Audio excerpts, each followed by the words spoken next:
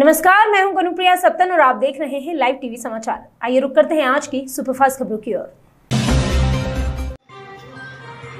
जसप्रीत बुमराह ने इंग्लैंड में विकेट लेने का नया कीर्तिमान बनाया, आठ साल पुराना रिकॉर्ड तोड़ा।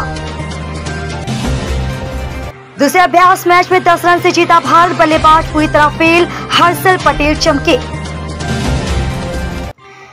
अंधकार में डूबता जा रहा है पाकिस्तान। विशेषज्ञ बोले, अगर पिछली संकट जारी रहा तो बड़ी राजनीति को उथल पुथल हो सकती है। लीबिया में प्रदर्शनकारियों ने बिजली मिलने पर संसद भवन को आग लगाई। कोपरहेगन के शॉपिंग मॉल में गोलीबारी, तीन लोगों की मौत, हमलावर गिरफ़्तार। दक्षिण पश्चिम पाकिस्तान में गहरी खाई में गिरी बस, उन्नीस लोगों की दर्दनाक मौत। श्रीलंका में धन का टोटा, तेल खरीदने का पैसा नहीं, स्कूल बंद वर्क फ्रॉम होम की सलाह। अल्पाइन ग्लेशियर का बड़ा हिस्सा टूटा, छह की मौत अठारह लोग बर्फ़ की चट्टानों में दबे। यूक्रेन में रूस ने पूरा किया खास मकसद, लोहांस के आखिरी शहर पर भी करा कब्जा।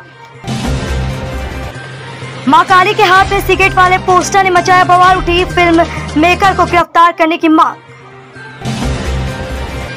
शेरनी वन फिर दहाड़ने आ रही Sushmita Sen, Disney plus, Hotstar ने रहा सीज़न तीन को दी हरी झंडी।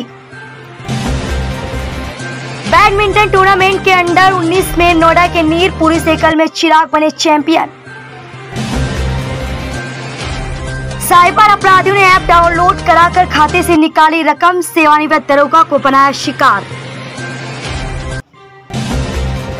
आगरा में बकरों की खरीद फरोख्त को उमड़े लोग सबसे महँगा बिका कप्तान। सुशांत सिंह ड्रग मामले में अपडेट हॉट स्टार ने की आर्या तीन की अनाउंसमेंट। योगी 2.0 के सौ दिन नए ग्रामीण संपर्क मार्गों के लक्ष्य को किया पार, पर नहीं पूरा हुआ पुलों के निर्माण का शतक। श्रृंगार गौरी के दर्शन मामले में सुनवाई शुरू जिला जज की अदालत में मुस्लिम पक्ष के अधिवक्ता रख दलील।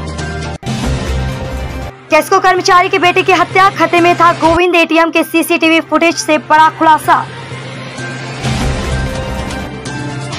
बड़गली सामूहिक हत्याकांड मामले में मीनू त्यागी समेत 16 आरोपियों को उम्र कैद।